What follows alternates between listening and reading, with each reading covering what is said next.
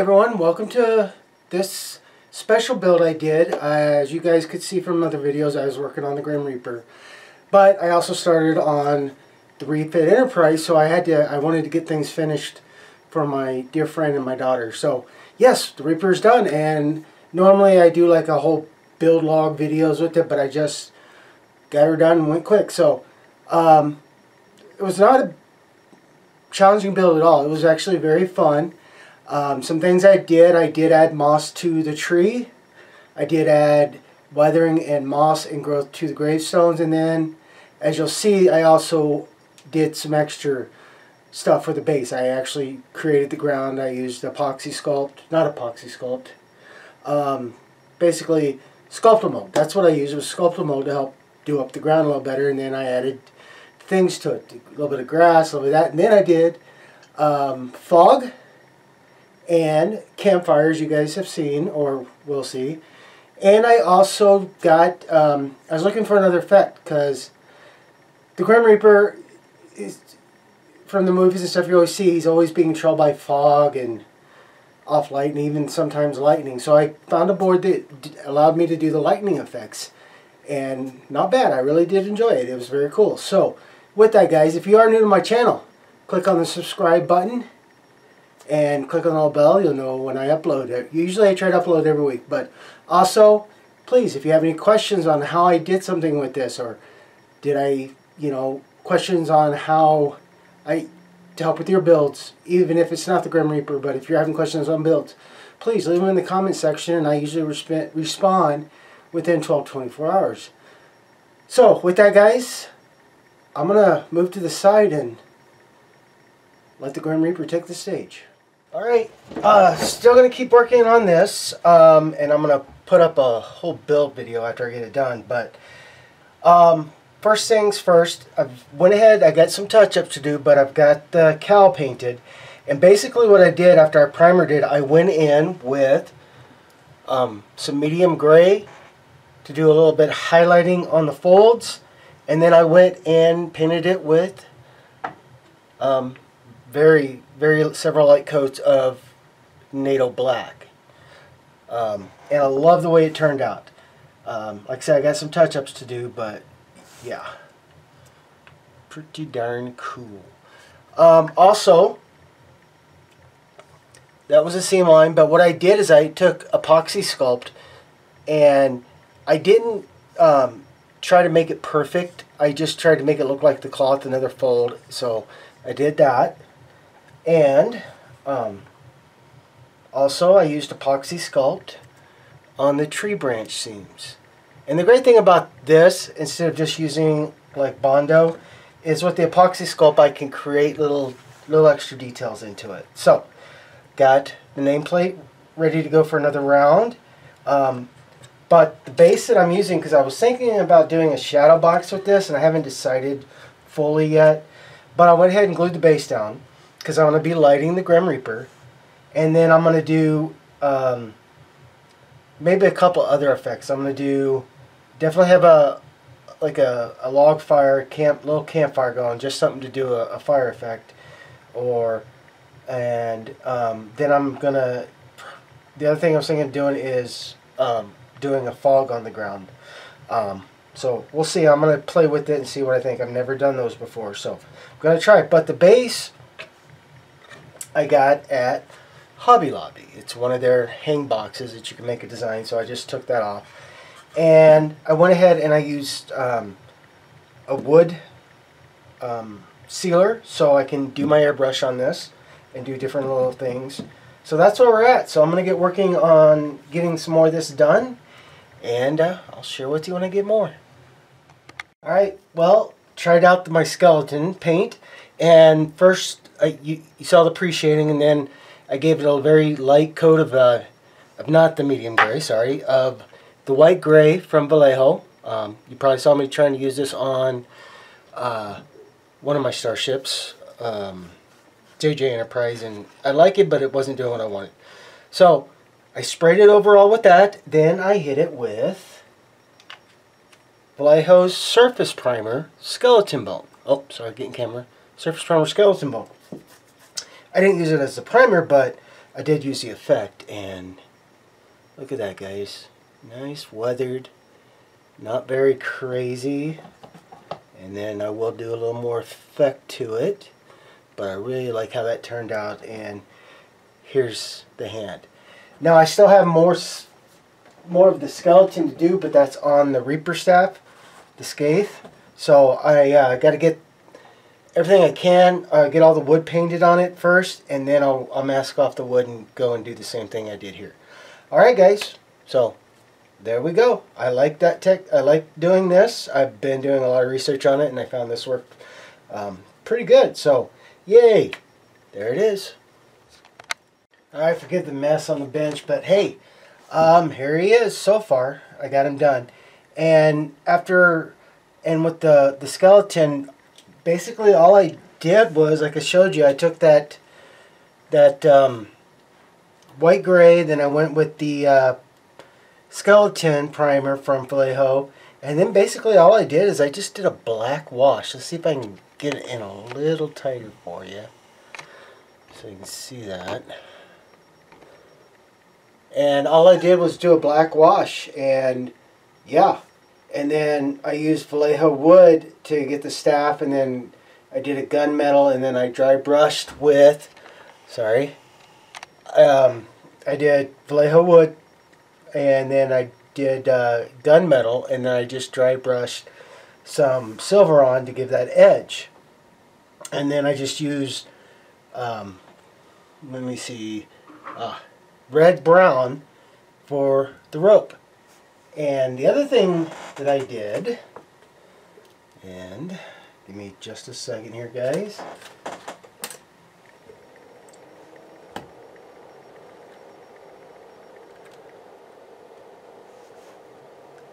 There you go. Here, let me shut that off a little bit and zoom in. Yep. So I gave him flickering red eyes. Well, it was a request from my daughter and my friend that I do that. So, so now I'm gonna mask off what's mask off the LEDs, and then I'm gonna give him a good uh, clear matte coat, and he's gonna be pretty much done. Well, this one's done. I still got this the other one to do, but yeah. So, not too shabby. And like I said, I've really never done figures. I did did the Frankenstein for my friend, and. Uh, kind of got me into it. So I kind of like doing these. So um, when I get more done, I will share with you. Well, good morning, everyone. And it is Saturday. And um, doing a little extra work on the Grim. So um, I used uh, Model Masters clear cement. I put some to help protect the LEDs in the eyes. And now I can do just a light brushing of smoke to help diffuse them a little bit, maybe make them a little airier, but yeah. So, and then I can go ahead and do the last, well, actually, get it dusted off and get it sprayed with matte. And something else I did, I added stuff to the trees. Now this is just moss. Um, it's it's done for um, dioramas, but I thought it would look really great on the base. So, um, basically all I did is I hot glued them and then I went back and I sprayed matte over it again to help diffuse the hot glue starts and I might dust those up just a little bit more but I think that's going to make it look a little bit more eerie just just to give it a little more life because the model is just a tree and nothing else so I added that. And with that I'm going to go ahead and keep working on the grim and get that done. Oh and I also um, Got the bases um, done up, so give me just a second, I'll show you. And here's the base. Now, um, I went ahead and used the, the kit piece. Let me get this back here a little bit. There we go.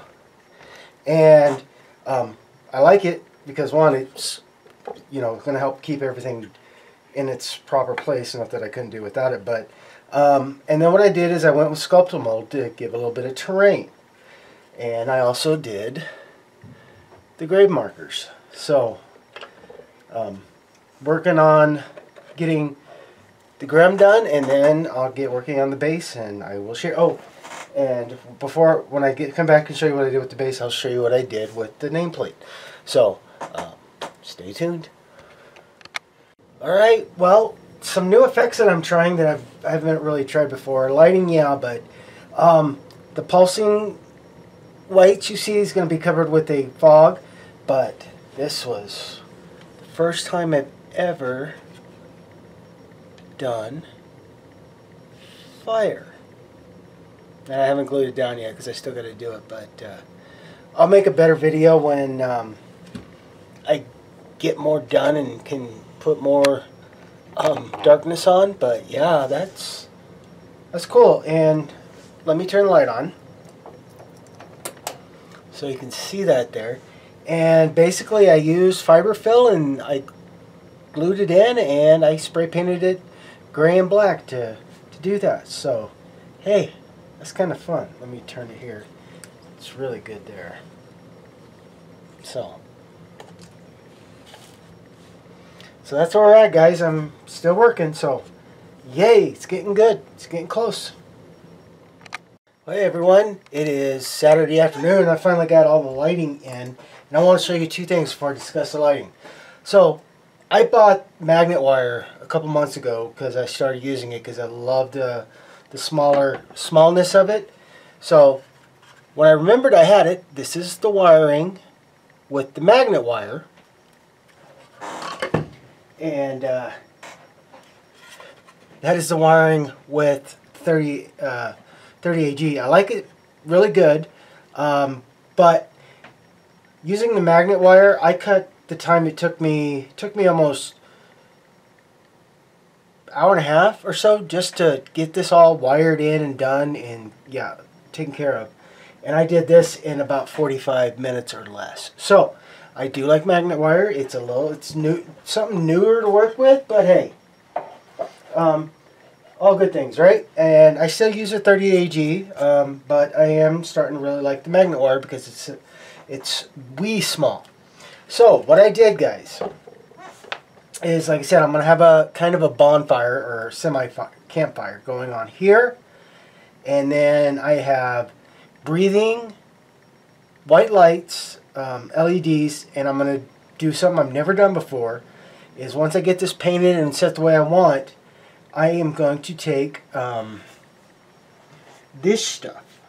Uh, give me a second I am going to start taking and I'm going to use fiberfill I have been watching videos sorry guys I have been watching videos on it and I've heard about it and I was like what the heck's fiberfill? So finally, I, I, like it. It's it's awesome. I used it on the Pike Enterprise to help diffuse the engines, uh, the impulse engines. And what I'm going to do is not only am I going to make a smoke column coming up from here, but then I want to, after I get everything where I want and how I want it, I'm going to have it coming wrapping around and doing the fog, and then it'll do that twinkly twinkly light thing.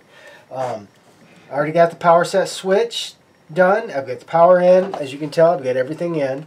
So now I'm going to get the, the, the LEDs masked off and uh, get started on getting some paint done so I can finish doing this part up. So I'll see you when I get that done.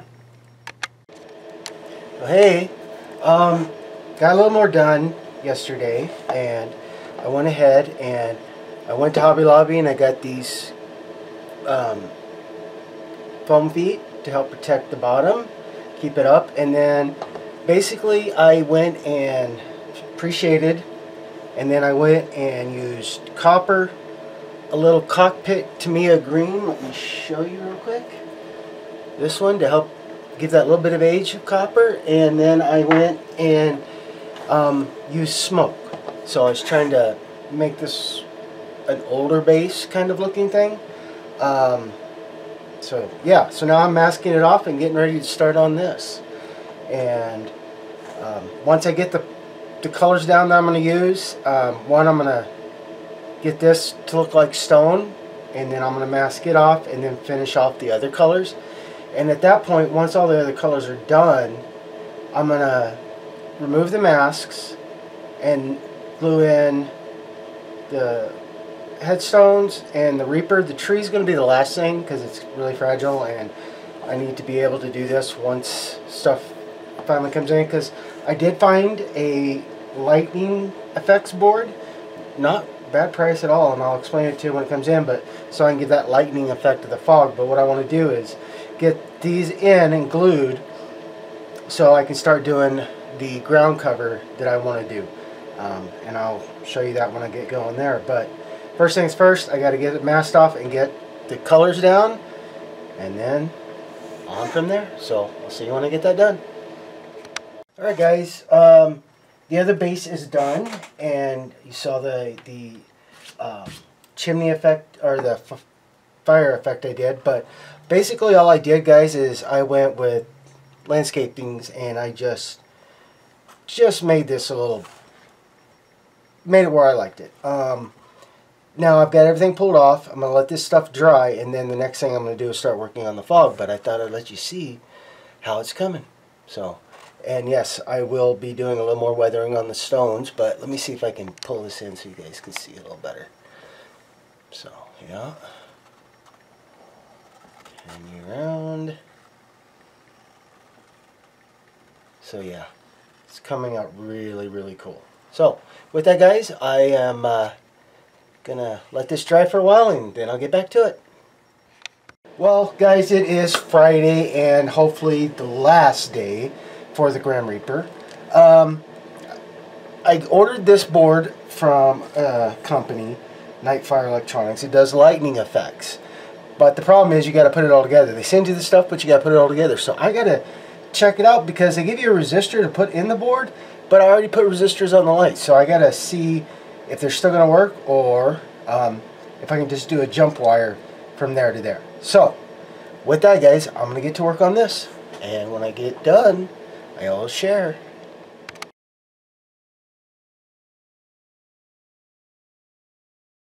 Okay guys, there we go. I got it all hooked up. And uh, fog lights that I'm going to do to help illustrate the fog and then the lightning. Whew.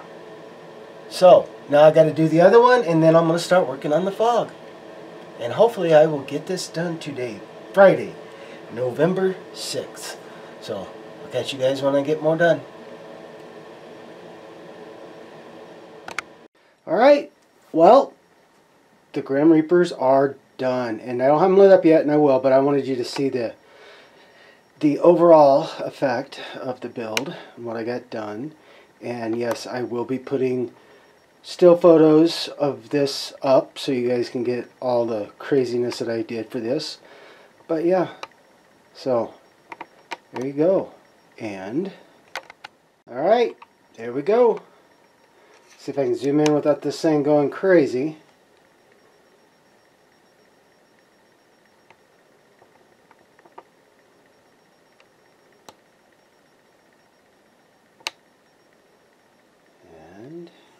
Oops, there's that fire, and I'll show you the other one, but zoom out here. There you go, you can see the fire on both. Now I did try to um, encircle the fire with the fog so it has that dry spot where the you know the heat's keeping it away but let's see if I can get a little closer for you guys there you go and then like I said I did this lighting effect because I thought it would look really neat and there we go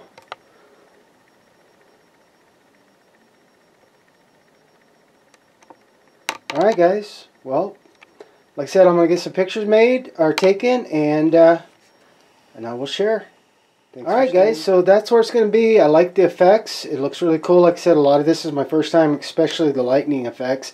And you guys saw that uh, in the video where I got it from. But it's really, really cool. So with that, guys, um, I'm going to get the Grim ready to go to the family and get, keep working on the uh, starship. So, hope you guys enjoyed this, and I'll see you on the bench.